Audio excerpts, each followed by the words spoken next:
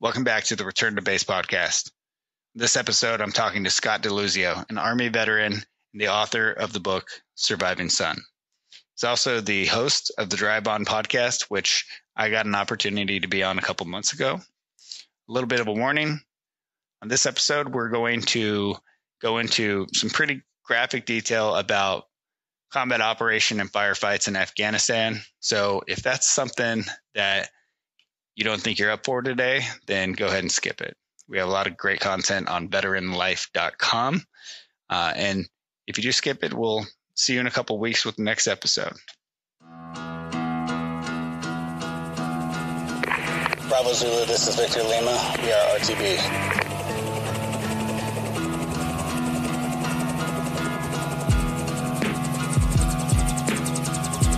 This is Return to Base, a Veteran Life podcast.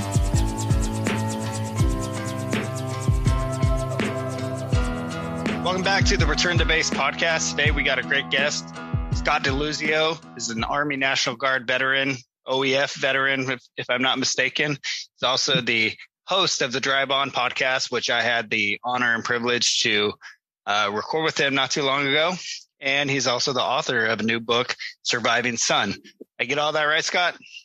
You got it all right. Yeah. And you even got the name right, which uh, a lot of people have trouble with the names. Yeah, you got it. yeah. I've actually served with a couple DeLuzios. So uh, I guess it's in it's in my vernacular.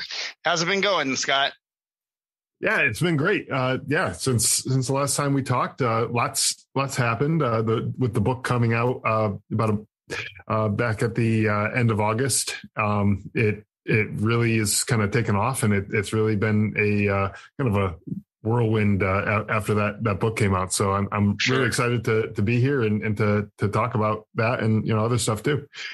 Yeah, excellent. And and I mean, your book came out kind of at a interesting time with the United States leaving Afghanistan. It's almost like it was made to come out at that time. We'll we'll get into the book and all, but yeah. I know that the the interest was peaked at least for anything related to Afghanistan, anything related to service. So it came out at the right time, and and hopefully, and I know that you're having success, but uh, hopefully it'll continue. Yeah, I'm, I'm I'm hopeful, and it's you know it's been a great ride so far. I'm just I'm I'm hoping it, it continues. So we'll see. Great, great. So Scott, a little bit of background about yourself. I know you were in the Army National Guard. You want kind of give us a brief overview of, of where you served, how you served, and and what brought you to where you are now?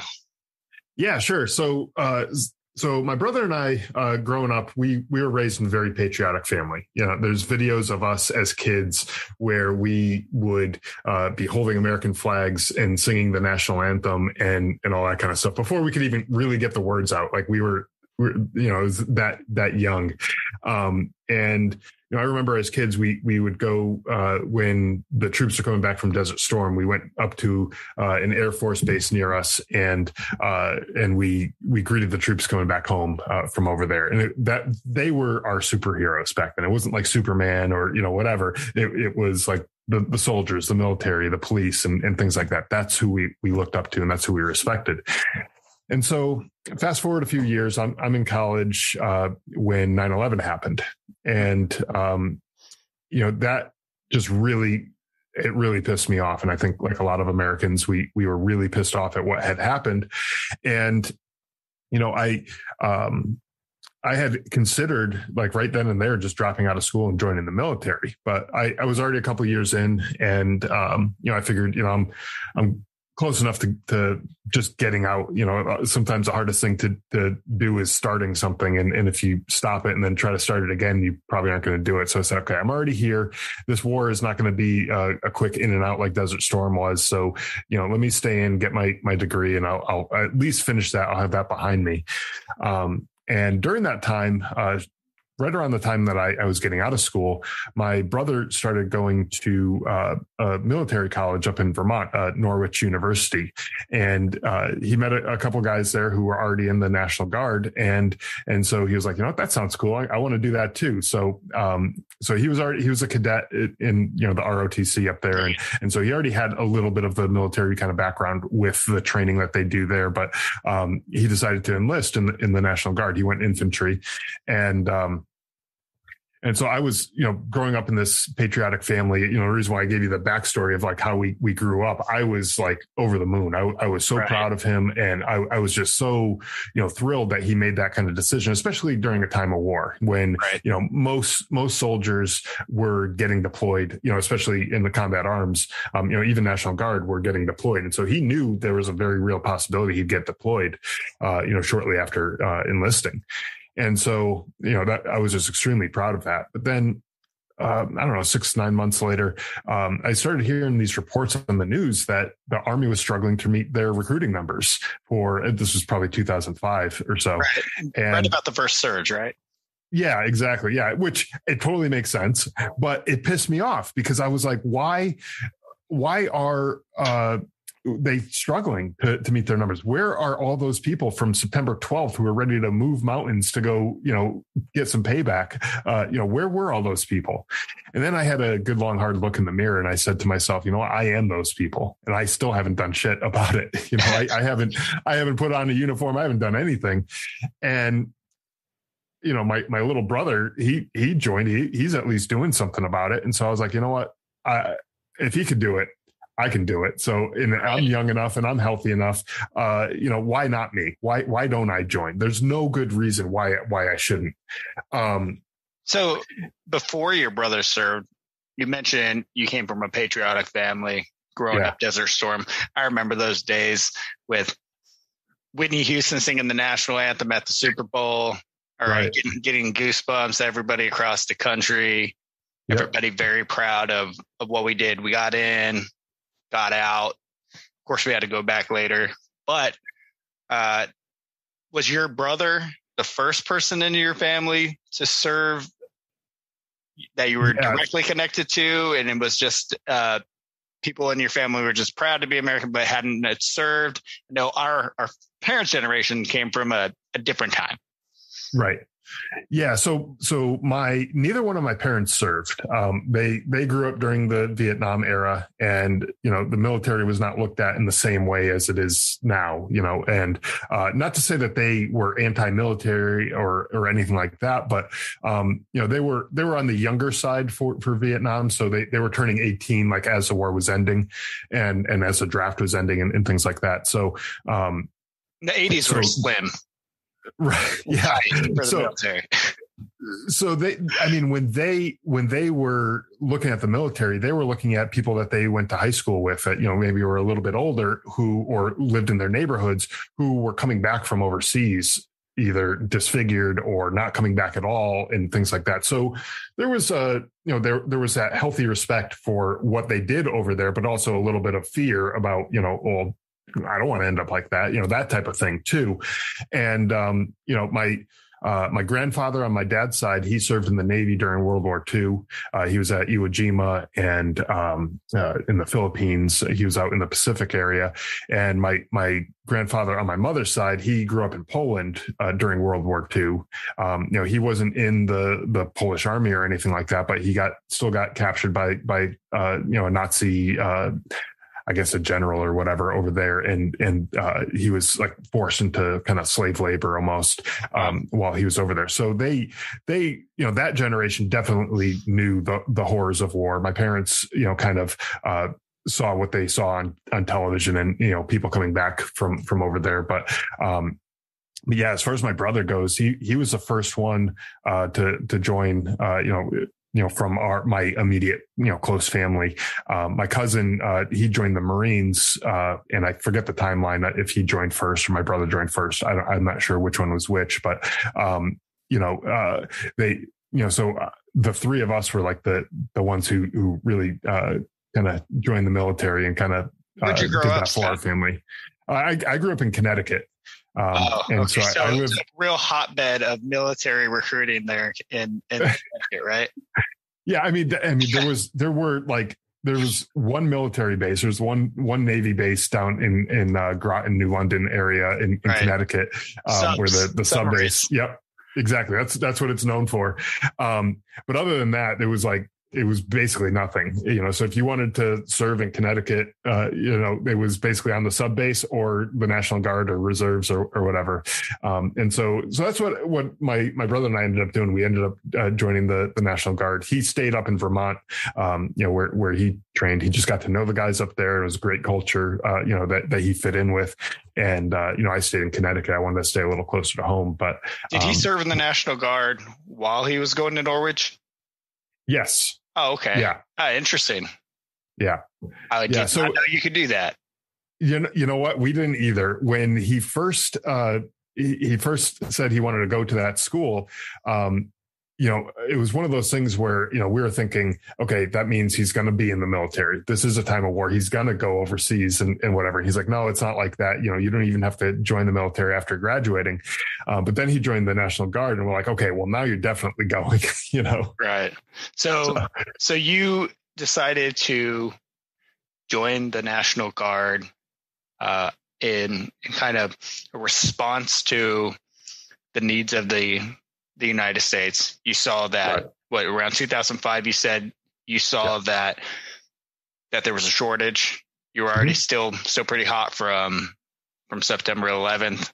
Then there was yeah. 2003, the invasion in Iraq, and you just felt the call to serve in the, in the National Guard. So did you just go to the local recruiter and say, "I'm here to sign up"? College be Yeah it, it, was the easiest sell that that recruiter had ever, ever had. It, it, was like I, I just I walked in, I said, "Where do I sign?"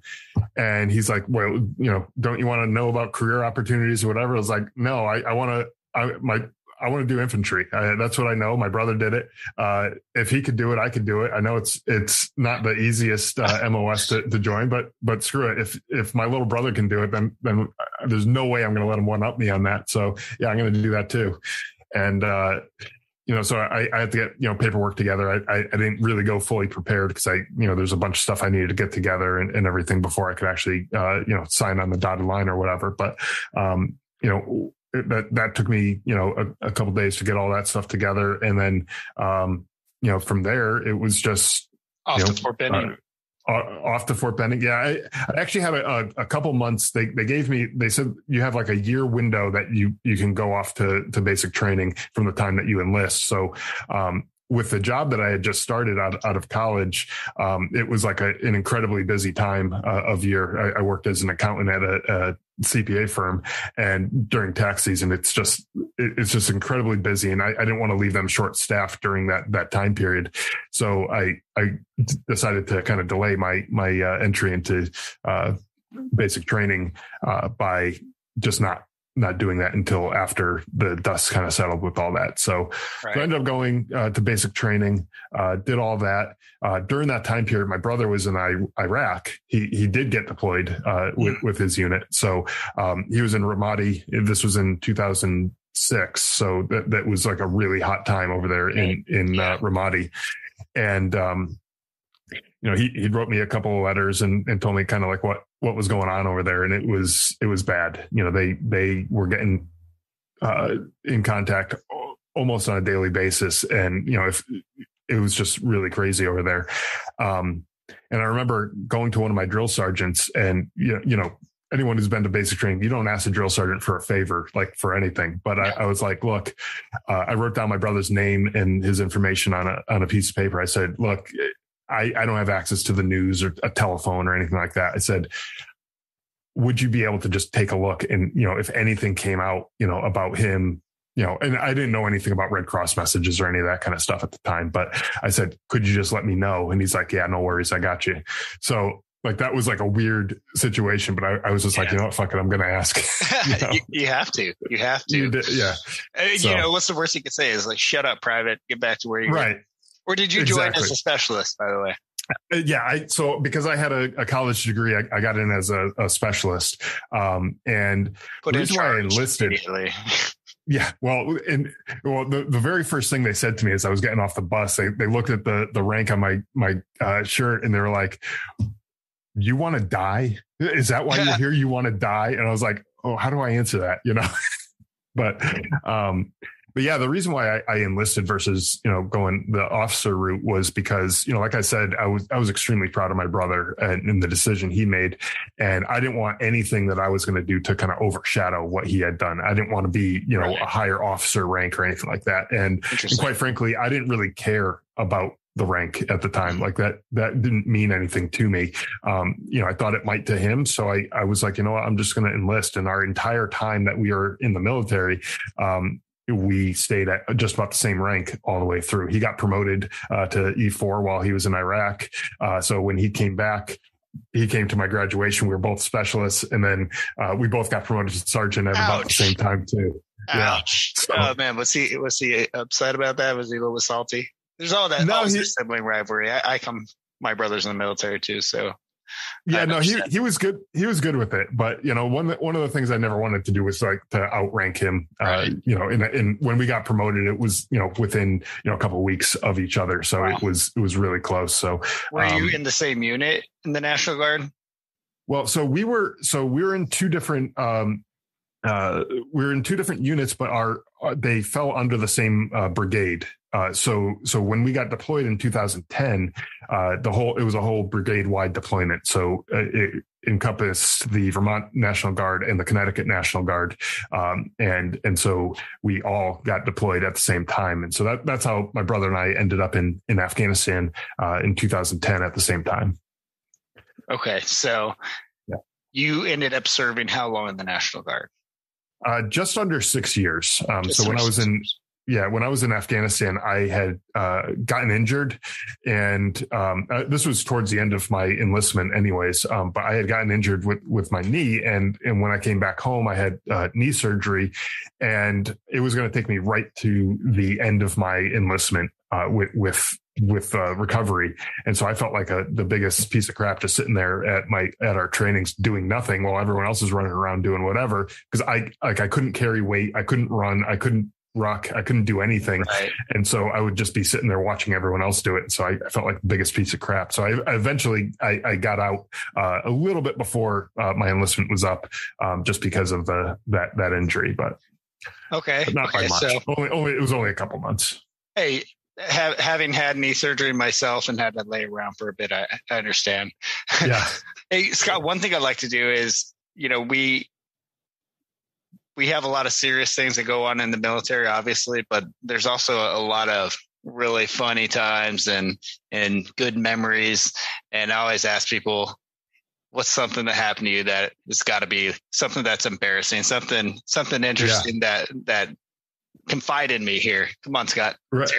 So I, I, actually got a couple things. So so one, um, we were in Fort Polk uh, training up before we got uh, uh, out to Afghanistan. And anyone who's ever been down there knows it's a great like, place. Beautiful. It's a, yeah, it's nice wonderful. Food, it's beautiful. People, I mean, palm trees, weather. drinks, um, you know, beach and everything. Oh, yeah, it's perfect. Okay, so on one of the rare days when it was pouring rain and the ground is soft as as anything, um, our our uh, platoon leader had the great idea to go take some of the guys out with the Humvees, and the, by the way, the up armored hum- Humvees, so really heavy, which does great on soft ground. Um, decided to have the great idea to take us out driving through this course that he mapped out through the woods. And and there's like this trail that went through. Was like this dirt road supposedly a dirt road. It was mud by the time we got there. And it was flooded and everything. And and he was like, no, just push through, push through. We, we pushed through. We followed what he was saying. We got all of our trucks stuck in the mud. And th- so we left like around like, I don't know, five or six at night. And we were only supposed to be out for like an hour or two. We weren't going to be out like all night. We ended up not getting back to our, our uh, platoon's area until probably about lunchtime the next day, like sometime around noon the next day. We were out all night pushing trucks through the mud we were chopping we luckily had some axes in the truck and we chopped some trees down to like wedge under the the wheels to get traction. And it was the most miserable experience. It was so long. We were wet. We were we were frustrated and everything. But the cool thing about that was so our entire platoon was out on this this uh this uh drive around it brought us together like so much. Like sometimes that that shared suck experience just brings people together, and and it kind of like unites you in that that um uh you know common Band of shared brothers. suffering. Yeah, Right. exactly. Yeah, it was it was something What like that. that? Was but- their first? The first commanding officer. Uh, Oh. the, the one they all hated on Band of Brothers. I can't think of it right now, but yeah, I can't think of it, think of who it was, but I know what you're talking about. And and it was like that. But what we hated was that experience. Like we hated the fact that we were in like well past our knees in mud, wow. trying to walk through this and get our trucks out. And it was so exhausting. It was like the it it was just terrible. At one point, I think we were actually off of the base somehow. I don't know how we got off because there was this footbridge over this little stream that that we we came across and it was beautiful. I mean, whoever built this put some time and effort into it. And we took those axes and we we destroyed it. We destroyed it and we took the bridge and we brought it over and we shoved it under the tires and we used that to get the trucks out. All right, because you, it was you're the one who built the footbridge at Fort Polk, you, we now know who destroyed it. Scott DeLuzio. I'll I'll send you his address if you ask. Yeah, and uh, yeah, if you, if you get any hate mail over that, I will. Uh, I'll go back and I'll I'll build them a new bridge or something. right, all Uh, pro- challenge probably, accepted. probably not, but you know we'll we'll see. If Yeah. the the word if the email is strongly worded enough, maybe I will. Um, You said you had another one. I had another one. So before we went to Fort Polk, we were uh, both my my unit and my brother's unit. We're in uh, Camp Atterbury, Indiana. Oh, um, yeah, I've been there. Haunted hospital. Yeah, that thing was freaking crazy. yeah. Oh my god. Uh, yeah, that was that was a nightmare. Um, and it definitely is haunted. No one will ever convince me yeah, otherwise. it's definitely Uh, haunted. That place is creepy. It is. Um, got a weird name, Muscatatuck. Seems like yeah, it'd be on that's what it was. Yeah, yeah. Oh my god, we were we were freaked out. And we we did all sorts of stuff at night there too. That was that was crazy. Um, but anyway, so we're we're at uh, uh, Camp Atterbury, and the day that we were leaving Camp Atterbury, and we were driving down to Fort Polk. Um, our our company missed, uh, or at least my my squad or, or whatever, we we missed our time, like a lot of time for uh, like dinner chow, and so we had a few minutes before uh, before the buses were going to leave. So we we decided to sneak in and go go grab some food.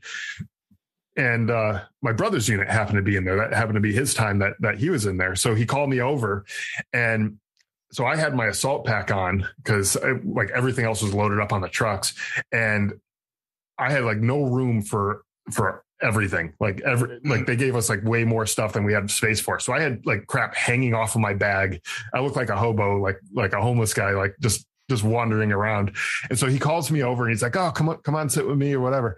And so I'm sitting there with him and the rest of his squad, and he's just ripping into me about how how I look like a homeless dude, and he's like, he's just he's making fun of me so much. But this is just like if you if you knew him, Mhm. that's just who he was. Like he would he'd find out the the little thread that was coming undone, and he would pull on it your and just brother. unravel the whole thing. Yeah, oh yeah, you know, and he would just do.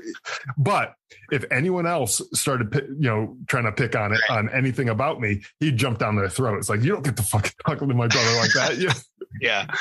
you know, but but he he would just he was just laying into me, and I was I was taking it because I knew I looked like a jackass with all the, the crap hanging off my bag and everything. But um, yeah, it, it was just it was just funny. It- you know, it was a good memory that were I had uh, of, of him. like a walking yard sale, right? Yeah, and I had I had a target painted on my back. Like it was an easy target. It was low low hanging fruit for him. He Please tell definitely. me you also had birth control glasses on. Oh, I didn't know uh, at Oh, the time. I did not. I did not wear glasses, but um, but he did when when Oh. he was in basic training. He got issued the birth control glasses. For those oh who my don't God. know, these are glasses that are so ugly that there's no way you're going to get anybody pregnant. So they call them birth control glasses. They're There's in actually a fashion now, probably. They probably are, yeah, because uh, the military stopped issuing those, and they, right. they turned to something else. So yeah, they're probably cool now. But in like East Village is wearing them right now. he found them at like Goodwill, like you know. Yeah, yeah, yeah. He's like, yeah, these look cool, and uh, uh, yeah. But um, there's actually a picture of him and I wearing. Uh, he had two pairs of the, these glasses. Him and I wearing them, and I was I was just screwing around. I was like acting like a jackass with them on, and uh, so he he came over and we took a picture, and it, it, it's pretty funny. But Wow, that's that's those are good good times, good stories. So Yeah. you know, I I know that. Well, what do I say? I I know I don't know what it's like to leave the National Guard, right? I don't. It's a different situation for me. So in Right. between your in the six years that you served, what's that like? Going off to be a soldier, then coming back to be uh, an accountant. Yeah, I, it it's weird. Um, you know when when you have uh, you know the one week in a month and two weeks a year training. You know, so sometimes you have to report in like Friday night or or whatever, and so you're going into work and you you have this big you know ACU camouflage bag and stuff, and you're you're bringing that into work. What your change of clothes that you're going to change out of, uh, so you can you know report in in uniform on time and everything, and. Um, you know, it, it's weird. Like everyone else is talking about their weekend plans, like what they're going to do and where they're going to go and, and all that kind of stuff. And I'm like, yeah, I'm going to go sleep in the woods this weekend uh, because Yeah. you know that's just what we're doing. You know, um, you know, so so it, it's definitely a, a, like a different lifestyle.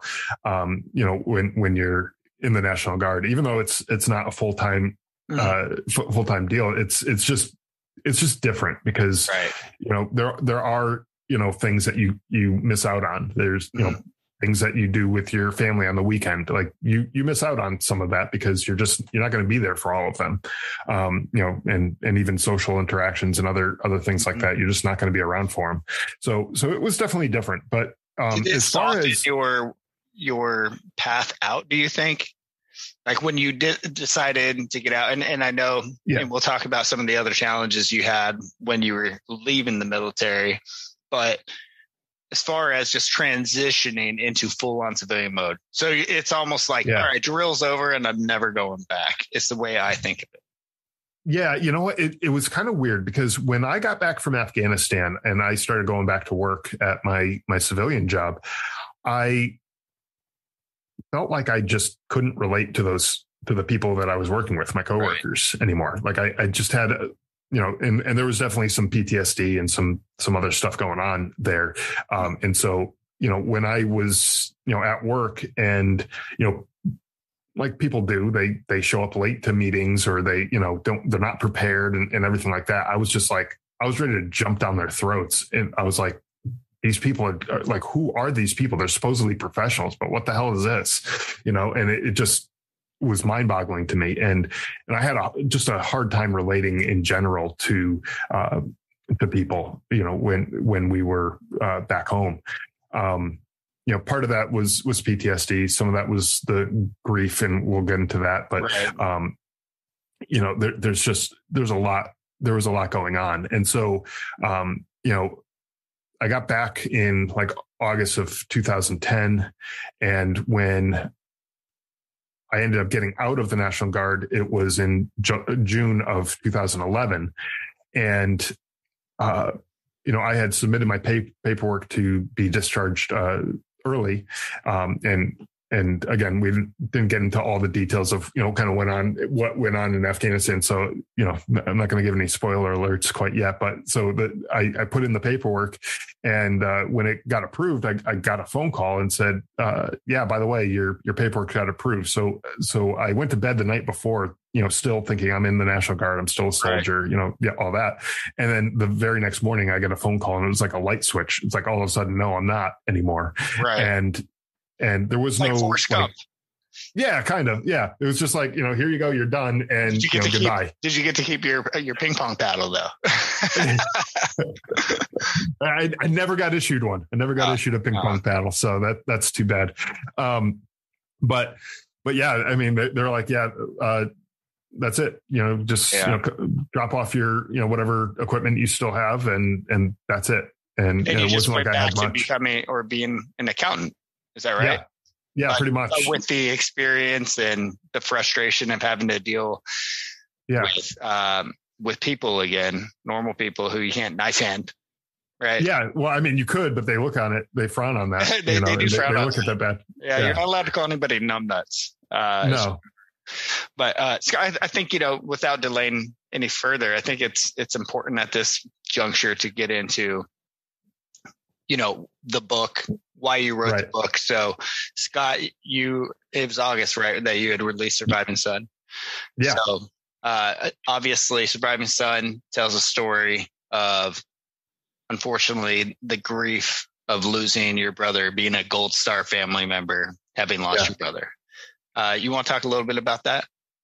Yeah. So, you know, I'll, I'll kind of talk about like what what my brother was doing and, and what, what he was up to over there and, and what kind of led to, uh, you know, those events, uh, what led up to his death. But, um, you know, he was, he was operating, uh, out of an area in, uh, Eastern Afghanistan and, um, his, his unit was aware of this, this, uh, village that had a lot of Taliban activity, you know, a lot of Tal- Taliban soldiers, uh, you know, going into this village and either they're living there or they they just frequented there or whatever.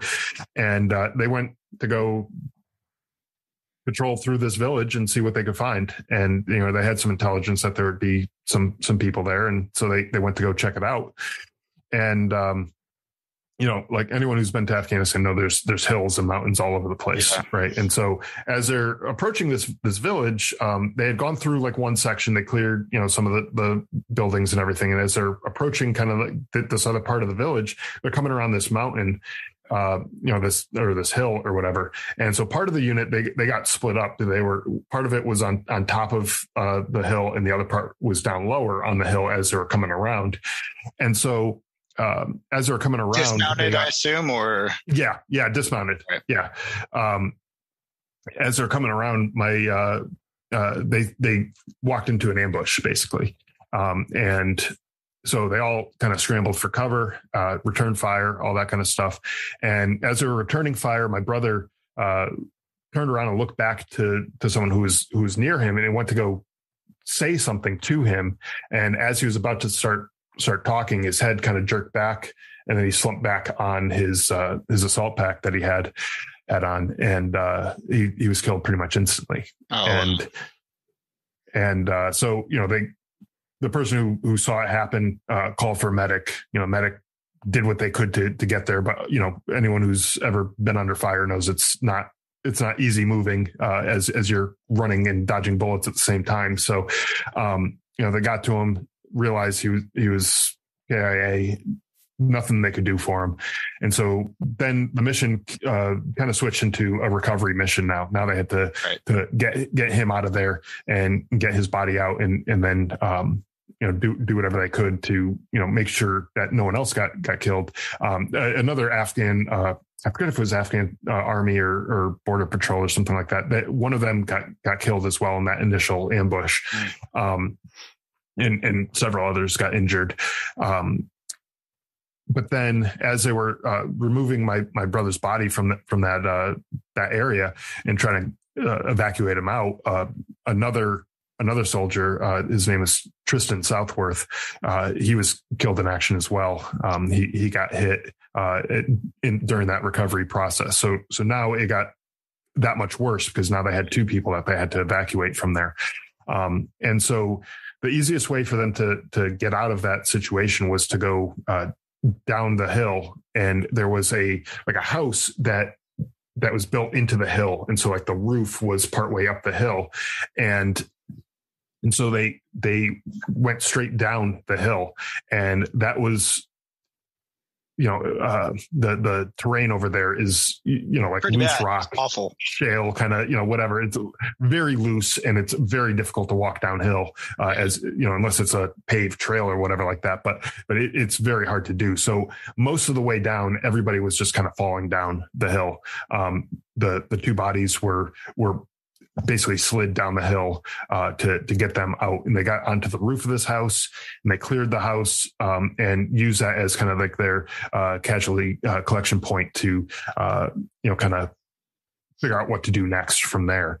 Um, but that day for them lasted hours and hours and hours, and it just went on and on. Um, and they they were not able to leave because they, they couldn't get back to their trucks, you know, and there was still such a huge presence of of the uh, the enemy fighters that were that were around them. It was just it was just a bad situation for them. So right. Um, and yeah, so that was make a bad situation obviously oh, worse. Yeah, for sure. And and it was it was you know it just got compounded. You know when they had right. the, the two and and everything, it, it just it was just so this so being, much worse. So and this being a National Guard unit, are these folks from your area, right? Or from your state or a combination Right. of, of some small states, right?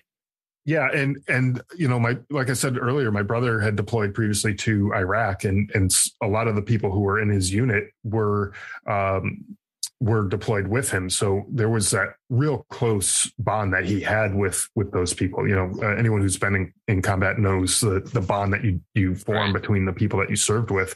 Um, and so he really had that that close bond and, and one of the first people to to get to him after he was he was shot um, was one of his best friends Wow. um, and and he got there and he, he was he tried to do you know whatever he could to help him but there, there really wasn't much that, that he could do so um so yeah that i mean that Yeah. that was what happened with him and you were um, you were in Afghanistan at the same time, right?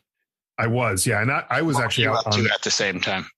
I, I was on a mission that same day um, in a, a different part of Afghanistan, but uh, you know we're still in eastern Afghanistan, so we're we're relatively close. Um. You know, but but we weren't like part of the same uh, operation or anything like that.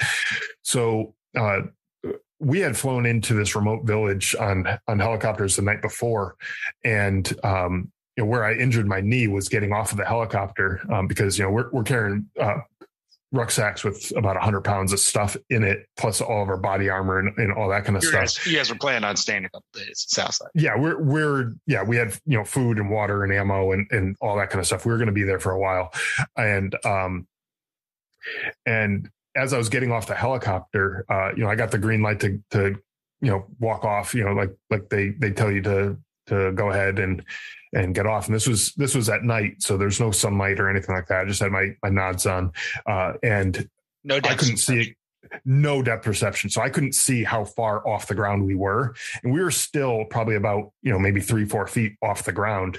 And I step off thinking I'm stepping onto solid ground. And then I fall. And that's where I busted up my knee Oh, was, was on that fall. it. And, uh, it got you. it got me, it got me bad. And plus I, w- I was the first one off. And Uh. so I had an entire platoon of guys about to come walking on top of me. So I had to Oh, like did they use get up and- well, I think the first one kind of like tripped over me. And then I, I, I was like, I got to haul ass and get out of here because I can't have, you know, 30, 40 guys like walking all over me. Um, and, uh, you know, so we're we're working with the Afghan army uh, during during this this mission, and so we went down in the in the village, and I like to describe it as uh, for anyone who hasn't worked with foreign uh, foreign troops. Um, I, I like to think of it as like we were the driver's ed instructor, where we are there to kind of pump the brakes if things got out of control, but they Right. were the one behind the wheel. Right. Um, and it didn't really work out all that well, but um, it was what it was. That was what we were told to do, so we did it. Um, and so, anyways, we we go down into this village. We have to wait until uh, daybreak because the Afghan army didn't have any night vision technology or anything like that, so they couldn't see what they were doing. Not yet. And not well, well, yeah, Yeah. pause there and, fast forward a few years. You know, yeah, now they have plenty of it. but They did. Um, they did. yeah, but go ahead. I'm, Yeah. I'm sorry I interrupted. Yeah, no, that's okay. Yeah, so so we let them do their thing and go go try to you know clear the village and make sure that uh, you know we had intelligence that there was Afghan uh, army uniforms that were stolen by the Taliban in some of these these uh, villages. So we we went and we're searching for all that. We found some stuff, but no people. We just found the the uniforms and and a few weapons and things like that, which is super suspicious. Like, why would why why would like that stuff be there but no people so we're like okay what what's going on with that um but then at, like later on that day i get a call on the radio from my uh commanding officer and he's looking specifically for me and i was an e5 sergeant like Mhm. the, the captain doesn't usually jump the chain of command like that and and go straight down to a sergeant unless there's something either really really good or really bad you know that happened Right. and so I'm like, I just did my job. We didn't do anything spectacular today. So what did what got screwed up? You know, and I'm, I start checking my guys' equipment, like you know, who lost something, you know, whatever. Um, I'm trying. I'm running through my mind what went wrong, and uh, you know, eventually I linked back up with him. I couldn't figure it out, and he's like, uh, "Why don't you come on over here, uh, take your helmet off, and, and take a knee." And I was like, "What? Take my helmet off? We're outside the wire. Like you never do that. Like that. That's just Mhm. weird."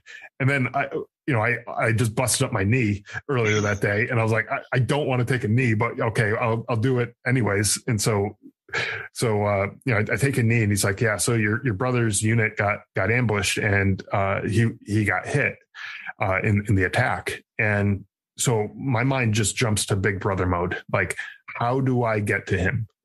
What can I do to help him? To, you know, if he needs blood, you know, I, I, think we're the same blood type. Like, if you need blood or you know an organ or whatever, let, like get me to him, get me a helicopter, yeah. get me to him, and I'm going to help him however I can.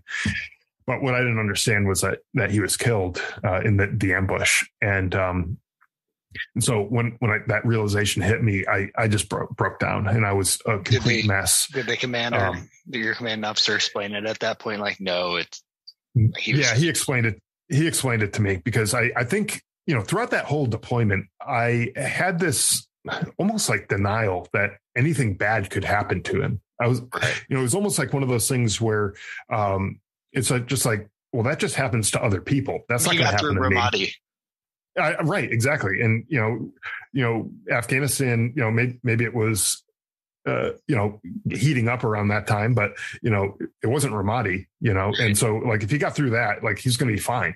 You know, and I think I had to almost lie to myself and tell myself that there's no possibility that he would get injured or killed because I wouldn't be able to focus on my job right. if if I told myself otherwise, I'd, I'd be worried about him the whole time.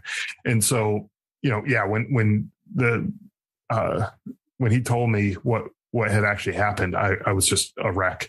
Um, you know, and I, I had, um, had guys come like stay with me. I, I was never left alone after that. Like people were, were always, you know, around me and everything. And, um, shortly after finding out, about 20 minutes after finding out, uh, the people that we missed down in the village, well, they started shooting at us and, you know, we started oh. taking RPG and small arms fire. And, and so I was like, holy crap, I, I got to put this grief aside, put all my personal issues aside right now and literally and figuratively put the army hat back on and, and go be a soldier and lead right. my guys and make sure that some, some anger, like, all right, oh my God, yeah. it's time to take it out on the enemy. Oh my God. Yeah. I, I was, I was beyond angry. I, I was angry at every single person who lived in Afghanistan. Uh, I was, I was angry at them for not taking care of this on their own and requiring good people like my brother to come there and, and get killed. I. It was just just my grief turned to straight anger and hatred towards. I, I even hated you know the people I was friends with, our interpreters. I, I hated them. I was like, why aren't you doing more? Why aren't you you know out there you know getting shot at? And meanwhile, they were getting shot at in right. the middle of this. So I, I, I just wasn't in my right head. Um, but interesting that that in, in that instance, obviously every man who can or woman, every man and woman who can handle a firearm at that time or a weapon system you're needed. And yeah. like you said, you, you said you had to put your grief aside, um, as heavy as it was, and then go exact some vengeance. Yeah they let you near the 50 cal or the 240 i guess you guys probably had at that point yeah we, we didn't have the 50 cal with us on that that, that was all you know we are all dismounted so that was a little yeah. little much to, to, carry around but um you know i was a i was a squad leader at the time so i had i had my whole squad uh you know that i was in charge of and and uh you know i there wasn't much cover where we were and we, right. we kind of like took some rocks and like built them up to make a ground. Well, we were up on, on top of the hill. Okay. Um, so, so like we had that going for us. We had the high ground. Um, but you know, we had a direct line of sight, you know, to, you know, wherever the, the fire was coming from. And, uh, my, one of my saw gunners, uh, he, he was, uh, he was near me. He was kind of like right next to me and, and he looks down the mountain and, and he's like, like, oh crap, I, I see this guy, you know, it, and he starts like describing like where it is and everything like that. I was like, you got a saw, just shoot, like just, just, just kill him and just keep shooting until he stops moving. And uh, you know, so that was satisfying to be able to tell him to just like, you know, right. unload and just unleash some some fire down that way. And uh, you know, there was this this small building kind of off in the distance, and and we thought that there were some some people in there kind of hi- hiding out, and so we had our our 203s, uh, you know, just lob some grenades over there and uh, and try to take that out. Our our CO wasn't exactly uh, confident that that they had routed all of them out, so he called in for air support and had that building completely leveled, um, which wow. was also satisfying, satisfying, to see. Right. Yeah. How how long um, did this firefight last? Uh, you know, I, it's hard to say. It's right. one of those things right. where when when you're in it, it feels like it like an eternity. But when you look back on it, it feels like it was you know two seconds. And Right. and so uh, like I, it's really hard for me to say. I didn't even look at my watch at the time, but um, it, it was you had all of that, the all other that stuff going on. That Yeah. so so you're in this firefight.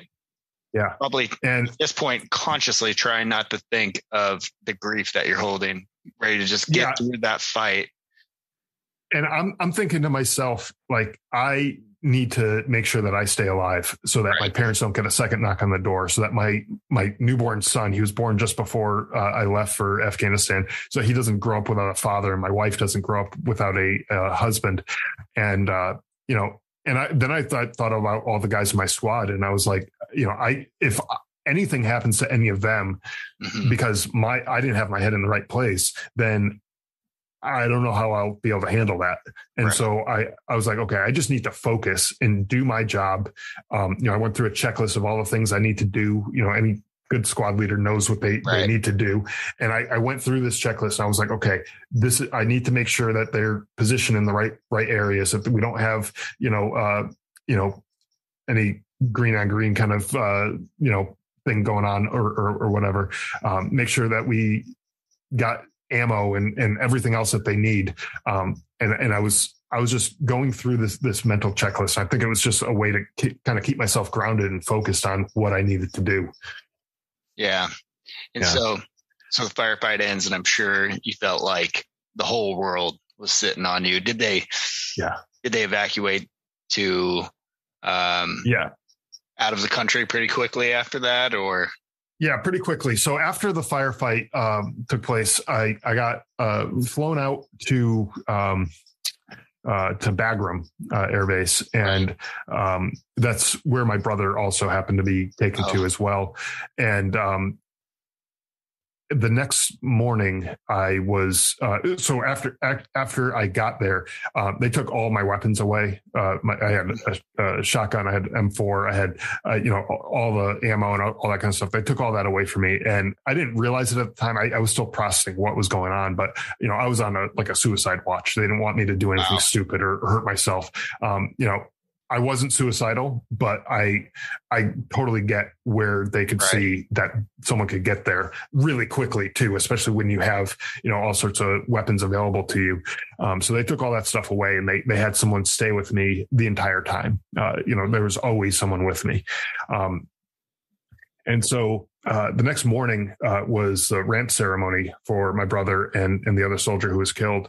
And uh, anyone who's not familiar with a ramp ceremony, if you haven't been to one, it, it's where they bring the uh, the boxes that are holding the transfer cases that are holding the the fallen soldiers onto the plane that's going to take them out of the country. And so they they're bringing them up the ramp onto the plane.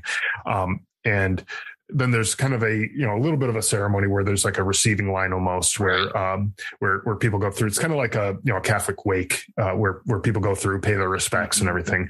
And i felt very fortunate to be able to be a part of that because you know most most fallen soldiers do not get the opportunity to have a family member there present you know during that. So i felt very fortunate that i was able to be there and represent him uh, that way. Was it Um, just the two Americans on that flight? Yes, yeah. So it was it was just them, um, but it was also um, they also used that that same flight uh, to transport other uh, Right. soldiers who, who were either going home on leave or you know whatever. And so I, I was fortunate enough to be able to get a seat on that flight, um, and and they they held everybody uh, off of that flight until I got on the flight and they, they said you you get your your pick of the seats on on here so i i sat with the closest seat to to my brother and um and I, I was just playing these scenarios out in my head. I, I still had that anger going on, but I was like, if anyone so much as like sneezes in the wrong direction near near there, and like so much as like hints at disrespecting him, his body, the mm-hmm. the the flag that's draped over his uh his the transfer case, I I was ready to just pounce on him, and I was just playing these scenarios out in my head. It was weird, um, you know, like no one was even gave me any reason to think that anyone would be disrespectful. But I, I was, I just had so much anger that I was just like looking for a fight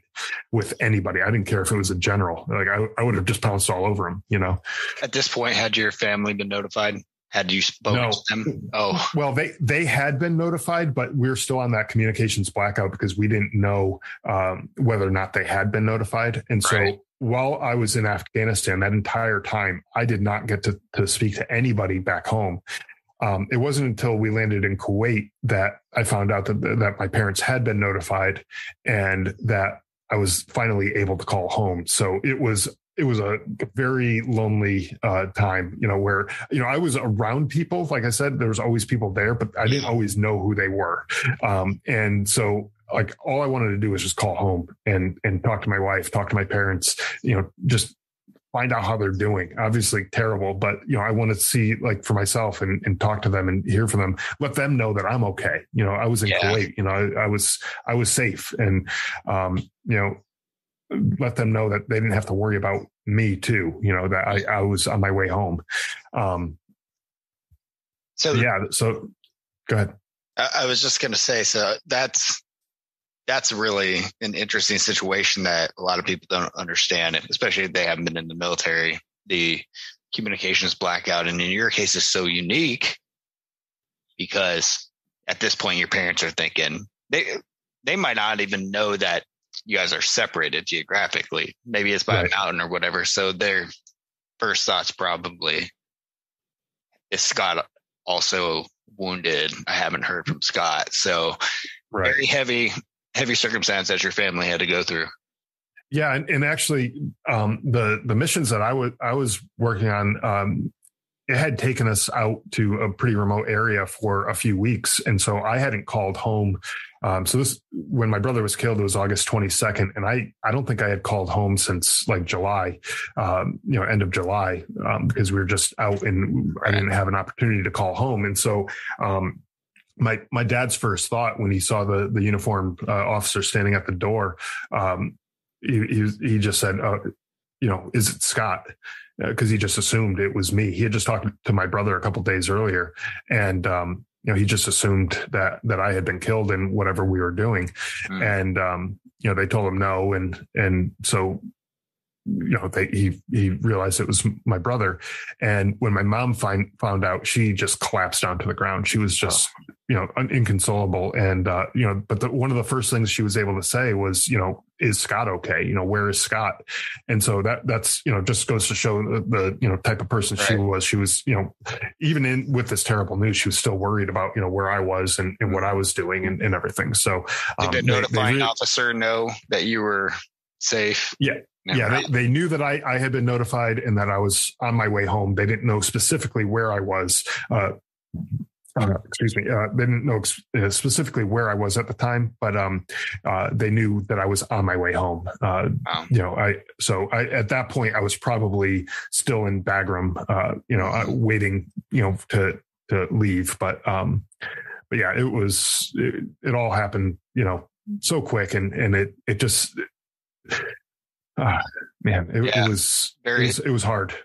very sorry that you and your family had to go through that. Obviously, the the that's such a traumatic event, and and will you know I appreciate you going through the the details of that day. I know it's hard, uh, but I do want to get into the fact that you wrote a book about this, surviving son, and what led you to write the book, and what was is that a process of your own healing, getting it out Yeah. there, yeah, it, it def- definitely was a, a, a process to uh, uh, to process my my emotions and my my healing and, and all that. But um, you know, what I started off uh, when I first started writing what became this book, um, it really was just me journaling and writing down notes of things that happened, places that I was at, and things that I was feeling, and, and all that that kind of stuff. And and the reason why I did it was because I knew that our memories fade over time and they play funny tricks and they distort facts and reality and everything. And I, I knew that my, my son, uh, you know, he'd grow up and, and I have uh, two more kids since then. So, so all, my children, they would eventually grow up and they'd probably have questions about what I did in, in the war and uh, what happened to their uncle and, and things like that. And so I wanted to just write down as much as I could remember uh, back then. And then a few years ago, I I started thinking that you know this would be a pretty good book. It, it would be a good good story, um, and it could possibly also not not just be an entertaining story or you know uh, you know something that people read for for the hell of it. Um, it could also help people too. Um, yeah. You know, people who might be experiencing you know their own traumatic loss or grief or you know whatever. Um, uh, it, it, can help them uh, you know see somebody else's uh, point of view and and see what they went through. Um, I'm not saying I did everything right. As a matter of fact, in the book, I talk about all the things I did wrong. You know, uh, mm-hmm. drinking too much and uh, sleeping too little, and you know all the the things that I did that were just so wrong and, and, keeping everything bottled up inside and not going to talk to someone um, you know early on. Um, you know i lied through my teeth when i when we had the mandatory like mental health screenings and, and everything mm-hmm. after coming back because i didn't want to talk to somebody. I wanted to just get back home to my family. I didn't want to spend more time talking to somebody else who i didn't know and you know burden them with my problems. So i, I lied. And so, know, so I talked about all that just stuff. Real quick, are you saying you they they still made you demob? Oh yeah, yeah. Wow. Yeah. So uh, this. Wow, so that's, that that's interesting. That part, I, I figured they would. Yeah, take it home, buddy. Yeah, so I I did I I came home when I when I was on my way home I came home and I stayed home. Um, but when I was on my way home, um, they just gave me a two week leave like anyone else would right. get, like if they're right. they're coming home. Um, and they're like, no, you're you're coming back. You know, they the people who were you know in the where? to Afghanistan. Oh, and and I was like, the hell I am. Like I like I, am in no shape to be coming back after this. Um, and actually at my brother's funeral. So uh, for people who are unfamiliar with the National Guard, National Guard falls under both the state and federal uh, jurisdictions. So um, our uh, commander in chief, if you will, not in addition to the president, it's also the governor of the whatever state you're in. Right. Um, so the the governor came to my brother's funeral and and told us, told my family, she's like, I'm placing orders out that you're not going back to Afghanistan. So I was like, cool, got that. You know, not, not going back. Thank you, thank you for that. You got my vote next time. And um, um, no, but uh, but yeah, I, I was I, I didn't think I was in any any right right mind to be going back over there. Um, you know, it, it, wouldn't have been a good situation. But um, I ended up getting a phone call about a, a week or so after his funeral, and um, it was from the Connecticut National Guard, and they they were like, "Yeah, you, you have to go back to Indiana, Camp Atterbury for uh, demob, and you know go through that that whole process." Right. And so they're like, "Okay, we're going to send you next week, and it's going to be you're going to be there for like th- uh, I forget what it was, like three days or something like that." And and I'm like, again, the last thing I want to do is being away from my family. I, like. I, I came home so I could be with my family, and uh, like I just want wanted to stay with them. I was like, I didn't understand why I had to go all the way to Indiana. Why couldn't I do that in in Connecticut where where my family was? Um, you know, it just didn't make any sense to me. But I did what I was told, and I I went there, and um, they gave me three days to to get through all of the the screenings and everything like that, and I was done in one in one day.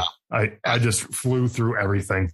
Um, you know, I, I, just got got it all done, and I actually had to get a, a my flight rearranged, you know, through the travel, uh, you know, office and everything. And, uh, I went, went back home the next day, um, which I was, I was glad to do. But the reason why I was able to get through everything so quickly is because I wasn't 100% honest with all of the the screenings. There's the mental health screenings and, and all that. And these people didn't even know probably. They, they didn't know who I was, my background, right. my story, or yeah. and for me to sit there and explain all that to them, that would have taken three days, you know, just just as it was. And so, like, I was like, I don't want to do this. I don't want to be here anymore. I want to, I want to leave, and I want to go home. Um, and that and, and it just didn't make any sense to me that that they had to do all of this stuff all the way halfway across the country mm-hmm. why couldn't we just do that you know at home where you know yeah maybe it's going to take me three days to get through all this stuff but i can go home and sleep in my own bed at night and and be around my my wife and my kid and and all that kind of stuff yeah you know, I know first world, world problems, but still, it was it was it was traumatic, you know. So it, it was it was a tough situation to be in. Right. So you, you took these experiences of uh, growing up, joining the military, serving yeah. with your brother, and of course, ultimately losing your brother and having to deal with your trauma the experiences, the mistakes you made along the way. But like you said, a lot of us fall into substance abuse, alcoholism, uh, and, and different things, anger, your family yeah. having to put up with all the emotions, I'm sure. Right. Um, and, and you managed or you, you thought it'd be a good idea to, to put this all in paper and, and, and yeah. share with the world. Yeah, I did. And, and, you know, for, for me, it was, it was a, a process of, of like a therapeutic process of, of writing all this stuff down and, and getting it all out there. And when, um, when I would get to the point where I was writing about the time of my my brother's death and like how all that happened i found myself just kind of like dancing around that and not really wanting to address that and and i, I would jump off to something else oh yeah it's it, it, it, it's, it can't be real you know right. if it's not on paper right and and so um then eventually I was like, you know, I, I need to do this. I need to put it out there. And, and so, um, so I, I, I just did it. and I, I sat down, I wrote, wrote it all down and it was like a big weight being lifted off my shoulders. Like I, I wasn't carrying around this burden by myself anymore. I, I, had it down on this piece of paper and, um, you know, it, it was, it was hard to write, but it was relieving. Like once when I, I did it, it, it felt really good that, that I had this out there.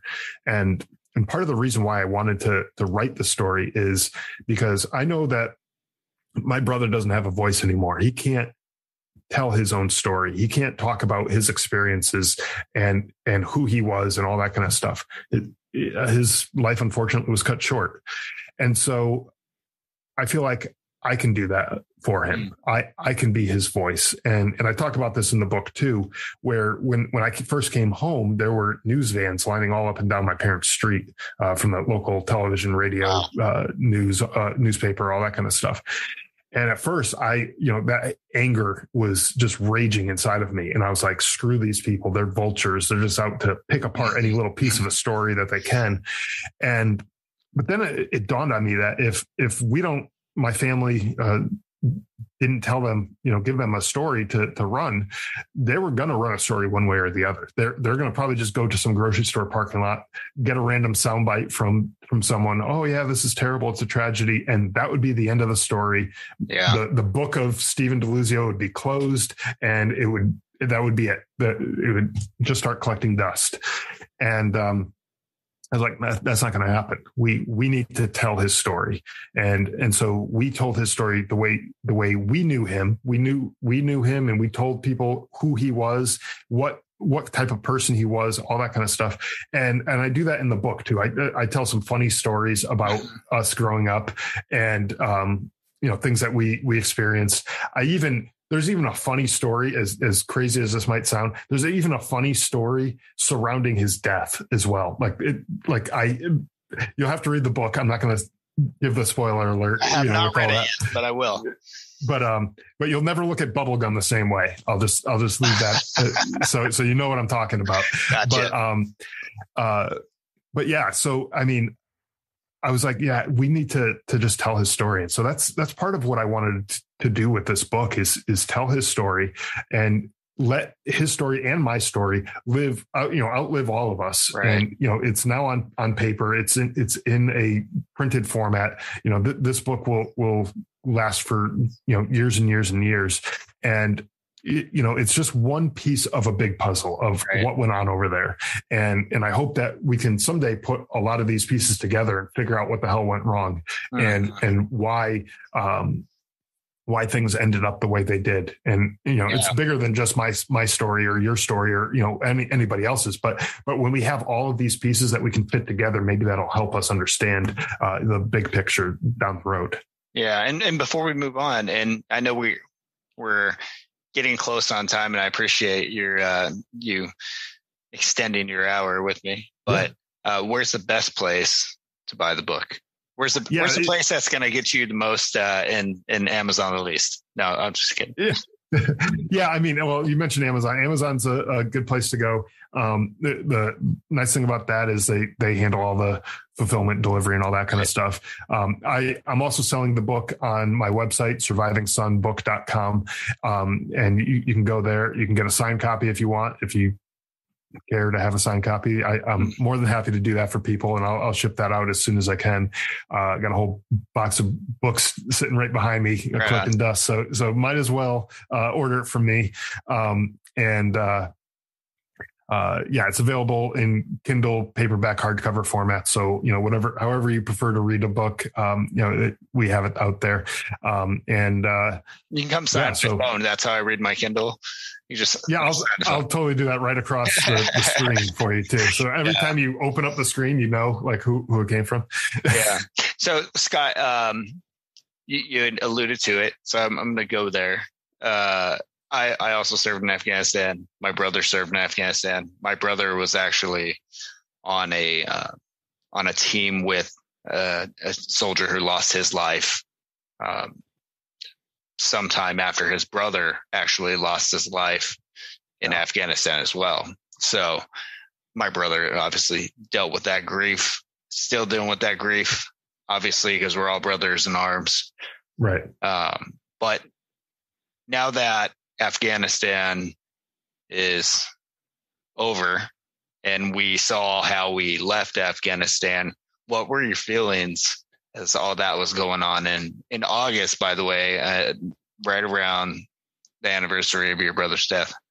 Yeah, it, it, was it was right around that that same time frame, and and so there that time of year is you know for the last eleven years now it's always raw raw emotion and yeah yeah well it is fighting season too, but it you know for me it, it's just you know, brings back a lot fighting of, season probably right yeah yeah it brings back a lot of memories and and um you know then, then adding this on top of all that um you know it it just it just it stung. It, it, hurt you know how how we how we got out you know. Um you want to you want to feel like you know what we did had a meaning and that that there was some purpose behind all of it. And it was it was hard to to really wrap your head around the the meaning of it when we left the way we did. But my takeaway from all of it was that we didn't lose all these lives and all this time and money and everything like that all for nothing um, you know, including my brother's life. We he, he didn't give his life for nothing. Um, there was, I, I feel like a, a, lot of good that was done over there.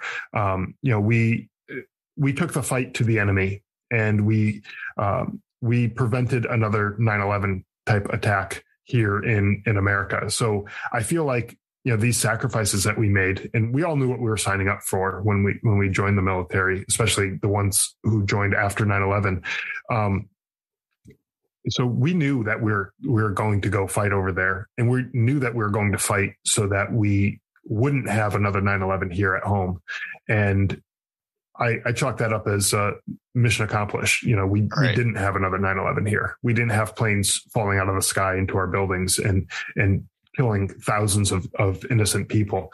Um, you know, we, we took the fight over there and, and we did a good job at that. We, we kept that fight over there.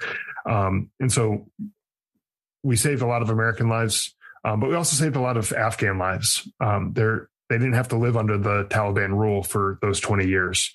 Um, and we, we provided uh, schools and infrastructure to the, the people of Afghanistan.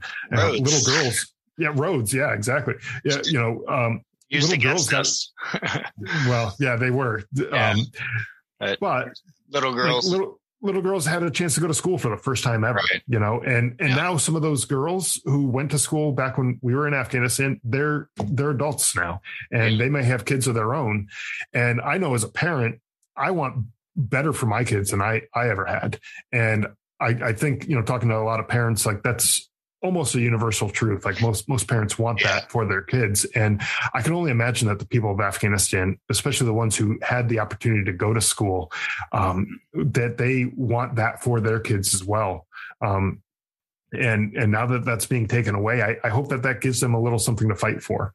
Um, and I, I, hope that the the little bit of freedom that they got to enjoy for those twenty years uh, is is something that they can use as fuel to to go and fight and and take back their country from from the Taliban and, and say so. that you know we're not going to stand up for this. You know, time will tell with that. You know, maybe that's just just wish, wishful think, thinking on my part, but um, you know, I I really do hope that they they will stand up and, and fight back. Yeah, and I think that most veterans of Afghanistan feel the same way that it's it's a painful wound that yeah. we've we've just endured. But I think most of us hope that that taste of freedom is still lingering in their mouth, and without it, they're gonna maybe rise up and, and thwart their dictatorship or their autocracy or whatever the Taliban wants to be right now. Right. Um, so yeah, yeah, it was tough. It was, it was, an interesting time having, having like yourself. You've been to Iraq, right? No, uh, just, no, it's just my brother who's in Iraq. Yeah. yeah. Yeah. So myself being a veteran in both Iraq and Afghanistan, it's kind of like, man, spent a lot of time overseas and both those yeah. places are a wreck. and right. some other places I've been as well. I'm looking at the news today not doing so hot. Um, but that's neither here nor there. But um, yeah, I think that's something that we're all going to have to deal with. Uh, one other thing I want to touch on before we leave, before we wrap it up, is is your podcast, the DriveOn Podcast, which yeah. Is a fantastic format, and in the conversation flows flows nice and smoothly. And and I was lucky enough to be be on there a couple months ago, uh, what brought you to doing a podcast and how has that helped your journey? Yeah, so I mean, after coming back from Afghanistan, uh, you know, our our company that that I was in was fortunate enough not to have lost any soldiers over there, and um, you know, after we came home, we started losing soldiers that that we served with to suicide, wow. and um, you know, that just didn't sit right with me. You know, one is too many, but when when that second one and you know when you when you keep yeah. you know hearing about other people that you served with um you know whether it was in afghanistan or not uh to you know taking their own lives it's like what what's going on here well you know we just came from a place where where people literally wanted to kill us and they failed and then we came home where people literally want the best for us and now now we're failing again and so like right. what what is going on with this and so I, I, felt like I couldn't just sit around and wait for someone else to take their life, whether I knew them or not. Uh, I felt like I needed to be proactive and do something about it. And I wanted to reach as many people as possible. I wanted to, to reach as many veterans, their families, their, their loved ones. I, I wanted to reach as many people. So I, I started the podcast. Um, because it's it's a you know pretty easy way to to get in touch with a lot of people at, at once, and so um, what we talk about on the podcast. We we talk to other veterans about their their struggles and things that they they've had to overcome and how they overcame them. Um, because sometimes all people need to do is hear that they're not alone. You know, if you're suffering in silence over over whatever it is, just knowing that you're not alone is is helpful uh, to you. And so so we talked to them about about all all of their their struggles and, and what they've done to to get through them, and then we talked to uh, uh, people who represent non nonprofits and other organizations that are providing services to veterans, uh, things that are you know outside the VA's uh, scope of you know care that they provide, um, because sometimes you know you may not want to go to the VA, you may not be comfortable with that, or you may not be qualified to go to the VA for whatever reason, right. and so. Um, you know, you, you we have all these guests that, that have all these other resources that are available to veterans who who are um, doing great work to to help out veterans at often little or or no cost to the veteran. And they're they're out there fighting for us and, and trying to make sure that we have all the tools and resources available to succeed and and reduce that number that that 22 a day number uh, you know that that people keep throwing around. Um, you know but it's more than just you know ptsd and, and suicide prevention. It's it's uh, careers you know talking about you know transitioning out of the military. It's it's um, you know finding uh, alternative uh, ways to find find purpose in in meaning. You know, what we did in the military had it was incredible incredibly meaningful and, and had a lot of purpose behind it. But when you get out of the military, sometimes you just you, you feel lost, like you don't have that sense of purpose or or the camaraderie that you had with uh, you know the people that you were serving with. So we we try to talk about those types of things and, and help people um, uh, figure out how to have hope in in themselves again. No, that's and it's an excellent podcast. It's it's on my uh, subscription list, or I guess that's what you call it. Um, but I enjoy it every time I listen to it, and I enjoyed being being a guest. and And we really appreciate folks like you who are helping people get out there, learn what resources there are, and and hear from people like you said, so that so they're not alone or right. rudderless, right? Um, so one more thing, and that's I want to know what your advice is. What's your recommendation for other veterans or spouses of veterans or just people who are going through some type of transition that away from some from one thing to another phase of their life? What's what's your your advice? Yeah i mean i i think we all are going to face some sort of transition whether we're military or not. You know you might work for you know 30 40 years in a job and all of a sudden you retire and that's another transition that a lot of people yeah. don't don't necessarily think about but but that's going to come up and that's going to creep up on you at, at some point too so you know when when you're struggling with whatever the transition is whatever if it's grief if it's a loss uh loss of identity you know things along those lines uh you know it, recognize that it's okay to struggle with this type of stuff, but also recognize that you don't need to do it alone. You can ask for help. It's not, you're not crazy for asking for help to, to feel the things that you're feeling. And that's, that's normal. That's human emotions that you're, you're showing that you're human by by saying hey this is bothering me well of course it's bothering you it's hard and so reach out for help. Um, it doesn't necessarily have to be a professional mental health counselor. You know, um, it, it, could be a close friend or a family member that that you're comfortable with talking to, and and just just talk about things. You know, be open and honest about what it is that's going on with you. Um, and you know, if it's if it's something where it's more than that that person can handle, um, and and maybe lead with, hey, you know, if if you're not comfortable with this, let me know. So, so right. it, this doesn't get weird. But, um, you know, if, if you're, if you're not able to find someone who can, who can help you through it, you know, a friend or a family member or whatever, reach out, talk to somebody, you know, find there, you open up the phone book and, or uh, that's showing my age right there. Go to Google. yes. and, you know, put in, you know, you know, whatever you're, you're feeling, if it's depression or anxiety or you know PTSD, whatever it is, and and uh, you know like just type in that plus like counselor in your zip code and you'll come up with somebody who can help you. You know it might be through the va it might be through uh, you know some other private organization but you'll find somebody who can help you. And you know just don't don't suffer alone. You know let let someone else know about it and and uh and de- definitely uh, you're not a burden to That's those right. people. You know, if, if they right. if they love you and care for you, you're not a burden. They they want you to be be happy and healthy, and they'll do whatever they can to help you. So, um, you know, and it it's they're there in your life for a reason. You know, lean on them if you need it. Absolutely.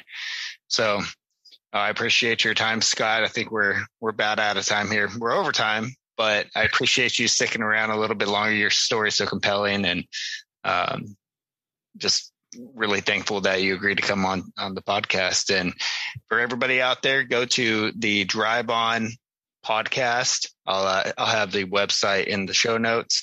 And while you're at it, subscribe to that, and also get Scott's book, which is Surviving Son, at Amazon.com, but preferably at the website, which I'll also post in, in the show notes. Get get an autograph while you're at it. And uh, thank you, Scott. Thank you for joining us. And Wish you the best of luck, friend. Great. Thank you very much. I appreciate the opportunity to be on your show. Hey, everybody. I want to thank you for joining us for this episode of Return to Base. That was Scott DeLuzio, the author of Surviving Son and the host of the DriveOn podcast. Please go out there and if you're interested, find Surviving Son wherever you buy your books, Amazon.com's one, obviously. If you can go to his website and buy it directly from him, that's great too. Also, encourage everybody to check out his podcast, the DriveOn podcast. Um, want to thank Scott for really sharing with us some some deep material, some very private things that he had go on in his life. Obviously, losing a sibling, a fellow soldier, is a traumatic experience and really shows how strong Scott is for being able to to talk about his experience for the betterment of of others who might be going through something similar whether it's a sibling who passed away or a fellow service member, a squad member, a team member.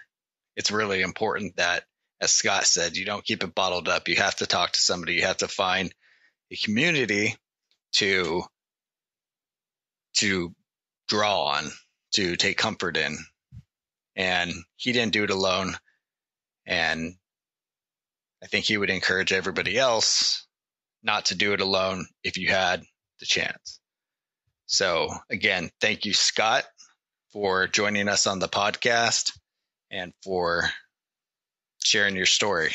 It's really great conversation and hope one day we get to have him on, on the podcast again. Also, if you haven't already, we'd really appreciate it if you followed VeteranLife on all the socials. We're on Twitter, Instagram, Facebook, and LinkedIn. You can find that information on the website. And if you haven't already followed or subscribed to this podcast in whatever platform you like to listen to your podcast in, we'd really appreciate it if you did that too. Helps out a lot. Until next time, keep carrying on.